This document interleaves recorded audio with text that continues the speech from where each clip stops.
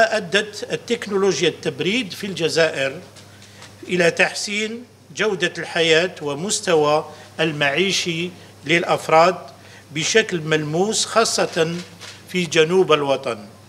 فقد ساهمت في زيادة كفاءة الإنتاج الزراعي وتوفير بيئة آمنة لتخزين الأدوية والمستحضرات الطبية وهو ما ينعكس إيجابياً على صحة وسلامة مواطنينا.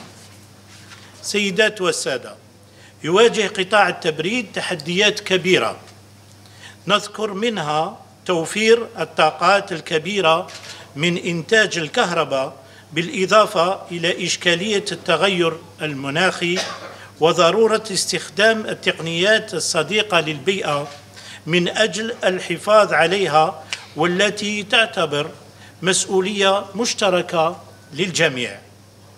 لذلك يجب علينا تبني حلول مستدامة تساهم في تقليل الانبعاثات الحرارية والاعتماد على مصادر طاقة جديدة ومتجددة.